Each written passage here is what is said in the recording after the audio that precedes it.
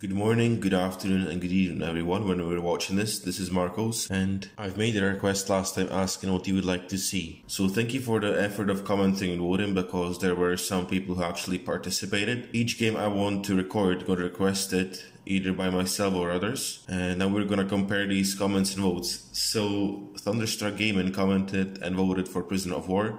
Thank you very much. I added my own comment on the video for Project Altered Beast but unfortunately nobody else wanted to see it. On Twitter, somebody liked my post but didn't say what game he or she wants to see. And on Facebook, two people said Fahrenheit. So the winner is Fahrenheit, or otherwise known as Indigo Prophecy. And by the way, with uploading the trailer, I run into a problem where for some reason the editor doesn't accept any video formats. I try to import the video in. So I'll just upload the first part very soon because I don't want to just use somebody else's video for the trailer. On top of that, I've made an updates playlist and featured it on my homepage of my channel, which will serve for videos like this.